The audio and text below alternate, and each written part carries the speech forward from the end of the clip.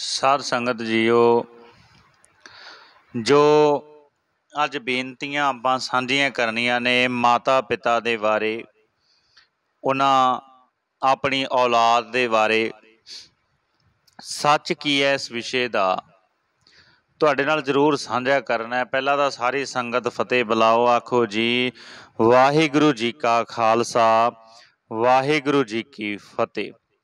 ਸਾਧ ਸੰਗਤ ਸ੍ਰੀ ਗੁਰੂ ਗ੍ਰੰਥ ਸਾਹਿਬ ਸੱਚੇ ਪਾਤਸ਼ਾਹ ਦੀ ਕਿਰਪਾ, ਰਹਿਮਤ ਦੇ ਸਦਕਾ। ਗੁਰਬਾਣੀ ਦੇ ਵਿੱਚ ਅਨੇਕਾਂ ਉਦਾਹਰਨਾਂ ਨੇ ਕਦੇ ਆਪਾਂ ਧਿਆਨ ਦੇ ਕੇ ਪੜ੍ਹੀਏ ਤੇ ਪਿਆਰਿਓ ਗੱਲ ਸਮਝ ਪੈਂਦੀ ਹੈ। ਪਾਤਸ਼ਾਹ ਕਹਿੰਦੇ ਤ੍ਰਿਤੀਆ ਤ੍ਰੈ ਗੁਣ ਵਿਖੈ ਫਲ, ਕਵ ਉੱਤਮ ਕਵ ਨੀਚ। ਮਾਇਆ ਦੇ ਤਿੰਨ ਗੁਣ ਨੇ।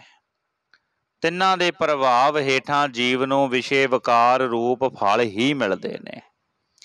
ਕਦੇ ਕੋਈ ਥੋੜੇ ਚਿਰ ਲਈ ਹੈ ਚੰਗੀ ਅਵਸਥਾ ਮਾਣਦੇ ਨੇ, ਕਦੇ ਨੀਵੀਂ ਅਵਸਥਾ ਵਿੱਚ ਡਿੱਗ ਪੈਂਦੇ ਨੇ। ਸਾਧ ਸੰਗਤ, ਸਮਝਿਓ ਜੀ, ਨਰਕ ਸੁਰਗ ਭ੍ਰਮ ਤੋਂ ਘਣੋ ਸਦਾ ਸੰਘਾਰੈ ਮੀਚ। ਦੁੱਖ ਸੁੱਖ ਭੋਗਣੇ ਪੈਂਦੇ ਨੇ, ਜੀਵ ਨੂੰ ਨਰਕ ਤੇ ਸੁਰਗ ਭਟਕਣਾ ਵੀ ਲੱਗੀ ਰਹਿੰਦੀ ਹੈ। ਮੌਤ ਦਾ ਸਹਿਮ ਸਦਾ ਉਹਨਾਂ ਦੀ ਆਤਮਿਕ ਮੌਤ ਦਾ ਕਾਰਨ ਬਣਿਆ ਰਹਿੰਦਾ ਹੈ ਤੇ ਜਿਹੜੇ ਗੁਰੂ ਤੋਂ ਟੁੱਟੇ ਹੋਏ ਨੇ, ਸਾਧ ਸੰਗਤ ਗੁਰੂ ਨਾਲ ਜੁੜ ਕੇ ਇਹਨਾਂ ਚੀਜ਼ਾਂ ਦਾ ਡਰ ਦੂਰ ਹੁੰਦਾ ਹੈ। ਕਰ ਕਿਰਪਾ ਪ੍ਰਭ ਰਾਖ ਲਿਓ ਨਾਨਕ ਤੇਰੀ ਆਸ। ਇਹ ਤੋਂ ਬਚਣ ਲਈ ਅਰਦਾਸ ਕਰ, ਆਖ हे ਪ੍ਰਭੂ, ਕਿਰਪਾ ਕਰ। ਮੇਰੀ ਰੱਖਿਆ ਕਰ, ਮੈਨੂੰ ਤੇਰੀ ਸਹਾਇਤਾ ਦੀ ਲੋੜ ਹੈ ਤੇਰੀ ਆਸ ਦੀ ਲੋੜ ਹੈ ਸਤਿਗੁਰੂ, ਤੂੰ ਮੇਰੇ ਤੇ ਰਹਿਮਤ ਕਰ। ਇਹ ਚੀਜ਼ਾਂ ਮੰਗ ਕੇ ਆਪਾਂ ਆਪਣੇ ਮਨ ਦੇ ਵਿੱਚੋਂ ਘੁੱਪ ਹਨੇਰਾ ਨਾ, ਜਿਹੜਾ ਉਹਨੂੰ ਖਤਮ ਕਰਨਾ ਹੈ। ਆਪਣੇ ਮਨ ਦੇ ਅੰਦਰ ਜਿਹੜੇ ਵਿਸ਼ੇ ਵਿਕਾਰ ਨੇ, ਉਸ ਚੀਜ਼ ਨੂੰ ਖਤਮ ਕਰਨਾ ਹੈ। ਆਪਣੇ ਮਨ ਦੇ ਅੰਦਰ ਜੋ ਚੀਜ਼ਾਂ ਨੇ, ਉਹਨਾਂ ਚੀਜ਼ਾਂ ਨੂੰ ਖਤਮ ਕਰਨਾ ਹੈ ਪਿਆਰਿਓ। ਇਹੋ ਹੀ ਤੇ ਚੀਜ਼ਾਂ ਜ਼ਰੂਰੀ ਨੇ। ਇਹ ਚੀਜ਼ਾਂ ਸਭ ਤੋਂ ਵੱਧ ਜ਼ਰੂਰੀ ਨੇ। ਇਹੋ ਹੀ ਚੀਜ਼ਾਂ ਅਸੀਂ ਸਮਝ ਨਹੀਂ ਰਹੇ ਪਿਆਰਿਓ। ਇਹ ਚੀਜ਼ਾਂ ਨੂੰ ਆਪਾਂ ਜ਼ਰੂਰ ਸਮਝੀਏ। ਇਹਨਾਂ ਚੀਜ਼ਾਂ ਤੇ ਆਪਾਂ ਜ਼ਰੂਰ ਧਿਆਨ ਮਾਰੀਏ। ਇਹਨਾਂ ਚੀਜ਼ਾਂ ਨੂੰ ਧਿਆਨ ਦੇ ਕੇ ਸਮਝੀਏ ਪਿਆਰਿਓ। ਇਹ ਚੀਜ਼ਾਂ ਜ਼ਰੂਰੀ ਨੇ ਜੀ, ਬਹੁਤ ਜ਼ਰੂਰੀ ਨੇ। ਇੱਥੇ ਆਪਾਂ ਕਹਿ ਦਿੰਦੇ ਆ ਵੀ ਨਹੀਂ, ਐ ਥੋੜੀ ਹੁੰਦਾ ਜੀ, ਆਪਾਂ ਨੂੰ ਨਹੀਂ ਕੁਝ ਚਾਹੀਦਾ। ਆਪਾਂ ਤੇ ਖਾਣਾ, ਪੀਣਾ, ਹੱਸਣਾ, ਬਸ ਆਹ ਘੁੰਮਣਾ, ਫਿਰਨਾ ਤੇ ਬਸ ਆਹ ਚੀਜ਼ਾਂ ਜਾਂ ਚੁਗਲੀਆਂ ਅਸੀਂ ਕਰ ਲੈਨੇ ਆ ਮੈਨੂੰ ਗੱਲ ਕਹਿਣ 'ਚ ਕੋਈ ਹਰਜ ਨਹੀਂ। ਫਲਾਣਾ ਐਵੇਂ ਆ, ਉਹ ਐਵੇਂ ਆ ਜੀ, ਉਹ ਐਂ ਕਰਦਾ ਜੀ, ਉਹ ਐਂ ਕਰਦਾ ਅਸੀਂ ਇਹੋ ਹੀ ਚੀਜ਼ਾਂ ਨੋਟ ਕਰਦੇ ਆ ਫਲਾਣੀ ਐ ਜੀ, ਢਿਵਕੜੀ ਐ ਆ ਜੀ, ਗੱਲ ਫਲਾਣਾ ਜੀ, ਅਮਕਾ ਜੀ। ਅਸੀਂ ਐਂ ਗੱਲਾਂ ਕਰਦੇ ਆ ਨਾ ਜੀ, ਆਮ ਤੌਰ ਤੇ। ਸਤ ਸੰਗਤ ਇਸ ਗੱਲ ਨੂੰ ਸਮਝਿਓ ਜਰਾ ਇੱਕ ਵਾਰ। ਸੋਚ ਕੇ ਵੇਖਿਓ। ਜਿਹਦੇ ਕੋਲੇ ਗੁਰੂ ਦੀ ਕਿਰਪਾ, ਗੁਰੂ ਦੀ ਰਹਿਮਤ ਹੋਈ ਪਿਆਰਿਓ, ਉਹ ਕਦੇ ਵੀ ਮੁਨਕਰ ਨਹੀਂ ਹੁੰਦਾ ਤੇ ਉਹਨੂੰ ਚਾਨਣ ਮੁਨਾਰਾ ਹੁੰਦਾ ਹੈ। ਉਹਨੂੰ ਸੰਸਾਰ ਦਾ ਭੇਤ ਹੈ, ਉਹਨੂੰ ਸਭ ਕਾਸੇ ਦਾ ਪਤਾ ਹੈ, ਉਹਨੂੰ ਪਤਾ ਹੈ ਵੀ ਕੀ ਚੀਜ਼ਾਂ ਨੇ, ਕੀ ਨਹੀਂ ਨੇ। ਉਹਨੂੰ ਸਾਰੀਆਂ ਚੀਜ਼ਾਂ ਬਾਰੇ ਨੌਲੇਜ ਹੋਈ ਉਹਨੂੰ ਹਰ ਇੱਕ ਚੀਜ਼ ਬਾਰੇ ਪਤਾ ਹੋਏਗਾ, ਉਹਨੂੰ ਹਰ ਇੱਕ ਚੀਜ਼ ਬਾਰੇ ਪਤਾ ਹੈ ਪਿਆਰਿਓ। ਉਹਦੇ ਮਨ ਦੇ ਅੰਦਰ ਕਦੇ ਹਨੇਰਾ ਨਹੀਂ ਰਹੇਗਾ। ਆ ਤੁਸੀਂ ਵੇਖਿਆ ਨਾ ਜੀ ਆ ਕਿੰਨਾ ਭਿਆਨਕ ਕੰਮ ਹੋਇਆ, ਬਹੁਤ ਅਤੀ ਨਿੰਦਣ ਯੋਗ ਘਟਨਾ ਜਿਹੜੀ ਵਾਪਰੀ ਹੈ। 3 ਸਾਲ ਦੇ ਬੱਚੇ ਦਾ ਉਹਦੇ ਪਿਤਾ ਨੇ ਕਤਲ ਕਰਤਾ ਜੀ, ਦੱਸੋ। ਉਹਦੇ ਪਿਤਾ ਨੇ ਹੀ ਉਹਦੇ ਆਪਣੇ ਬੱਚੇ ਨੂੰ ਮਾਰ ਦਿੱਤਾ, ਦੱਸੋ ਜੀ। ਇਹ ਬੇਗੁਰਿਆਈ ਹੈ ਨਾ ਜਿਹੜੀ, ਇਸ ਕਰਕੇ ਹੀ ਹੈ। ਗੁਰੂ ਤੋਂ ਟੁੱਟਿਆ ਹੋਇਆ ਕਰਕੇ ਹੈ। ਜੇ ਮਤ ਹੁੰਦੀ ਤੇ ਪਤਾ ਹੁੰਦਾ, ਮੇਰਾ ਗੁਰੂ ਰੋਕਦਾ ਹੈ, ਮੇਰਾ ਪਾਤਸ਼ਾਹ ਇਹਨਾਂ ਚੀਜ਼ਾਂ ਤੋਂ ਰੋਕਦਾ ਹੈ ਤੇ ਮੇਰਾ ਸਤਿਗੁਰੂ ਇਹਨਾਂ ਚੀਜ਼ਾਂ ਤੋਂ ਰੋਕਦਾ ਹੈ। ਤੇ ਪਿਆਰਿਓ, ਅਸੀਂ ਫਿਰ ਕਦੇ ਵੀ ਅਜਿਹਾ ਕੁਝ ਨਾ ਕਰਦੇ। ਇੱਥੇ ਦੇ ਧੀਆਂ ਨੂੰ ਕੁੱਖਾਂ ਵਿੱਚ ਕਤਲ ਕੀਤਾ ਜਾਂਦਾ ਸੀ, ਪਰ ਹੁਣ ਤੇ ਪੁੱਤਾਂ ਨੂੰ ਵੀ ਮਾਰ ਦਿੱਤਾ ਜਾਂਦਾ ਹੈ ਪਿਆਰਿਓ। ਪੁੱਤਾਂ ਨੂੰ ਤੇ ਜਿਉਂਦਿਆਂ ਨੂੰ ਮਾਰ ਦਿੱਤਾ ਜਾਂਦਾ ਹੈ। ਕੀ ਵੇਖ ਰਹੇ ਆ ਪਿੱਛੇ ਲੁਧਿਆਣੇ ਘਟਨਾ ਵਾਪਰੀ ਸੀ ਨਾ, ਸ਼ਾਇਦ ਤੁਸੀਂ ਭੁੱਲ ਗਏ ਹੋਵੋ ਤੇ ਯਾਦ ਰੱਖਿਓ, ਸਹਿਜ ਨਾਮ ਦਾ ਉਹ ਬੱਚਾ, ਜਿਹਦੀ ਉਮਰ ਕੇਵਲ 7-8 ਸਾਲ ਦੀ ਸੀ, ਉਸ ਬੱਚੇ ਨੂੰ ਮਾਰ ਦਿੱਤਾ ਗਿਆ ਜੀ, ਦੱਸੋ, ਉਸ ਬੱਚੇ ਨੇ ਕਿਸੇ ਦਾ ਕੀ ਵਿਗਾੜਿਆ ਸੀ?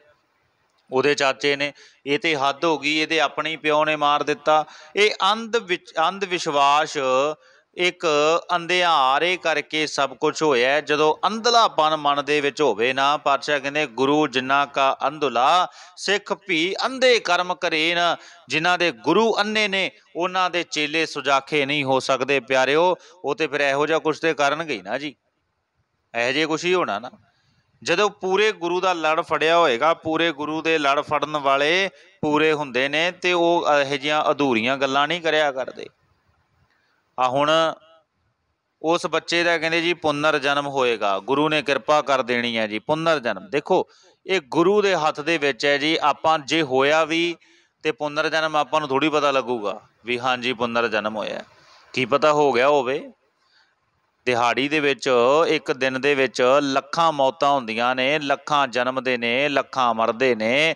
ਤੇ ਪਿਆਰਿਓ, ਅਸੀਂ ਕਿਹੜੀਆਂ ਗੱਲਾਂ 'ਚ ਫਿਰਦੇ ਆਂ ਕਿਹੜੇ ਆਮਕਿਆਂ 'ਚ ਫਿਰਦੇ ਆਂ, ਪਿਆਰਿਓ, ਉਹ ਪਰਮਾਤਮਾ ਬੇਅੰਤ ਹੈ, ਉਹ ਮਹਾਨ ਹੈ।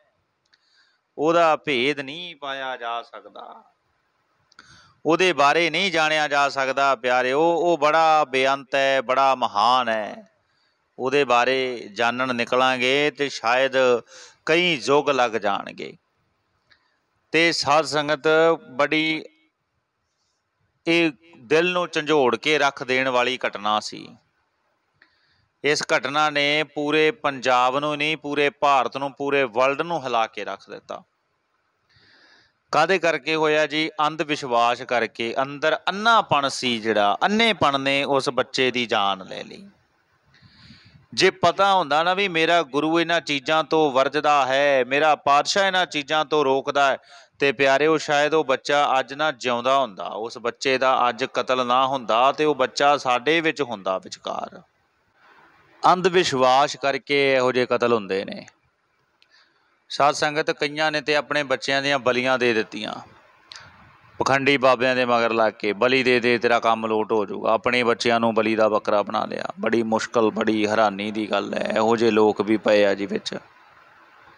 ਇਹੋ ਜਿਹੀਆਂ ਮਾਵਾਂ ਵੀ ਹੈਗੀਆਂ ਨੇ ਵਿੱਚ। ਪਰ ਮੈਂ ਬੇਨਤੀ ਕਰਾਂ, ਬੱਚਿਆਂ ਦਾ ਕੋਈ ਦੋਸ਼ ਨਹੀਂ, ਬੱਚਿਆਂ ਦਾ ਕਸੂਰ ਨਹੀਂ, ਸਾਧ ਸੰਗਤ। ਇਹ ਆਪ ਹੀ ਅੰਨੇ ਹੋਏ ਪਏ ਨੇ, ਇਹ ਆਪ ਹੀ ਅੰਨੇ ਨੇ, ਇਸ ਕਰਕੇ ਬੱਚਿਆਂ ਨੂੰ ਆਪ ਹੀ ਖਤਮ ਕਰੀ ਜਾਂਦੇ ਆ। ਇਹੋ ਹੀ ਤੇ ਕਲਯੁਗ ਹੈ ਜੀ, ਘੋਲ, ਘੋਰ ਕਲਯੁਗ ਜਿਹਨੂੰ ਕਹਿੰਦੇ ਨੇ। ਘੋਰ ਕਲਯੁਗ ਇਹੋ ਹੀ ਹੈ ਪਿਆਰਿਓ। ਇਸ ਕਰਕੇ ਬੇਨਤੀ ਕਰਾਂ ਪਿਆਰਿਓ, ਸੁਚੇਤ ਰਹੋ, ਆਪੋ ਆਪਣਾ ਧਿਆਨ ਰੱਖੋ। ਗੁਰੂ ਦੀ ਬਾਣੀ ਪੜਿਆ ਕਰੋ, ਘੱਟੋ ਘੱਟ ਸਾਨੂੰ ਚਾਨਣ ਮੁਨਾਰਾ ਤੇ ਹੋਵੇ, ਨਿਤਨੇਮ ਕਰ ਲਿਆ ਕਰੋ, ਗੁਰੂ ਘਰ ਜਾਇਆ ਕਰੋ। ਪਤਾ ਤੇ ਲੱਗੇ ਵੀ ਹਾਂ, ਵਾਕਈ ਸਤਿਗੁਰ ਸੱਚੇ ਪਾਤਸ਼ਾਹ ਕਿਰਪਾ ਕਰਦੇ ਨੇ ਸਤਿਗੁਰੂ ਸੱਚੇ ਪਾਤਸ਼ਾਹ, ਰਹਿਮਤ ਕਰਦੇ ਨੇ। ਸੋ ਪਿਆਰਿਓ, ਇਹਨਾਂ ਚੀਜ਼ਾਂ ਤੇ ਜ਼ਰੂਰ ਸਾਨੂੰ ਗੌਰ ਕਰਨੀ ਚਾਹੀਦੀ ਹੈ। ਇਹਨਾਂ ਚੀਜ਼ਾਂ ਨੂੰ ਸਮਝੀਏ ਜੀ। ਸਤਿਗੁਰੂ ਕਿਰਪਾ ਕਰਨ। ਵਾਹਿਗੁਰੂ ਜੀ ਕਾ ਖਾਲਸਾ। ਵਾਹਿਗੁਰੂ ਜੀ ਕੀ ਫਤਿਹ।